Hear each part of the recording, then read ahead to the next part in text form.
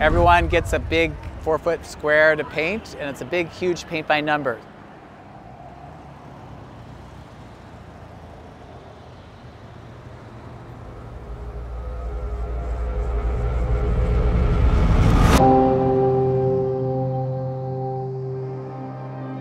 I felt like with the last couple years, there's been a lot of like contentious political discourse and people are attacking one another.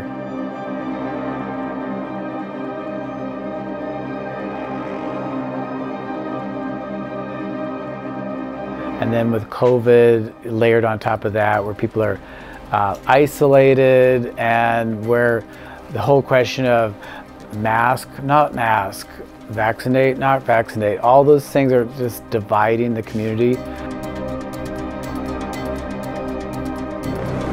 I feel like it's kind of like a tear in the social fabric. You know, we're in a difficult time.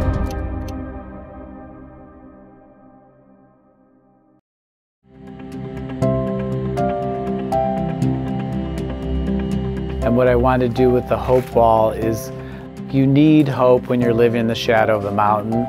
And so I want people to remember what are we for?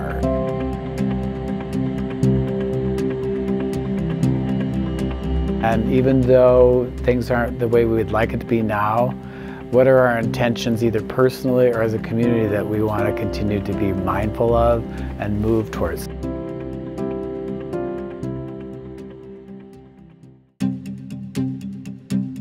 Have brought our community together in a way that we haven't uh, seen in a long time. When everyone comes together, it's not just like a new mural shows up downtown, but that you had a hand in making it. I think that's a big part of what this mural's about.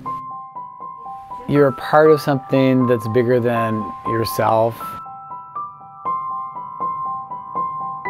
And it can be really powerful, realizing that you can, working together, you know, make a difference.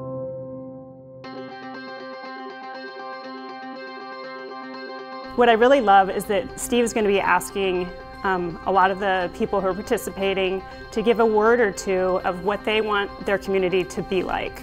And he's going to be incorporating that into the final project. Describe the person you hope to become or describe the kind of community that you hope to live in.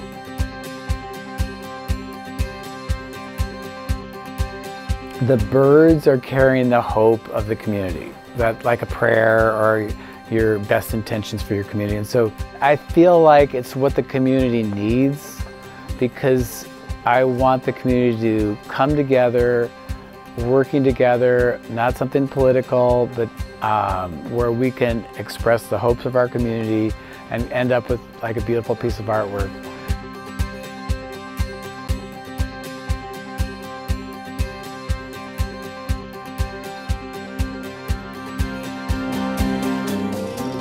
We're going big. So it's either going to go big in a good way.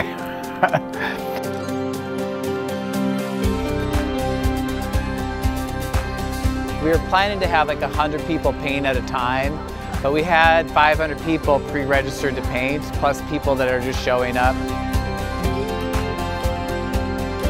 I think people that visit Anchorage and see that, if they take the time to read what's on those streamers, that that would communicate to them, this is our hopes for our community. It was a monumental project and uh, the community rose to, to the, the challenge.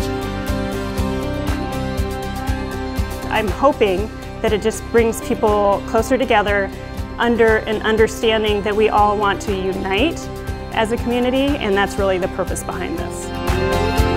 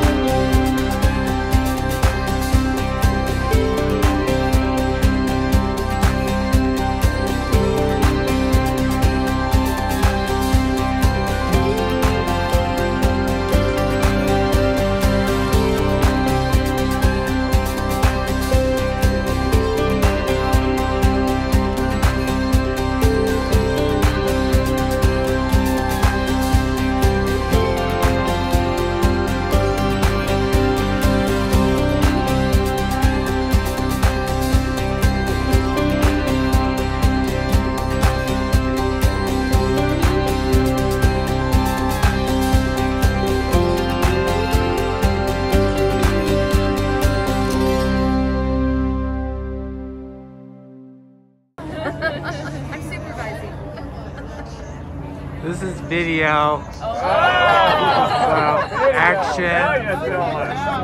Back to work. You're the star. We should be. we should have you.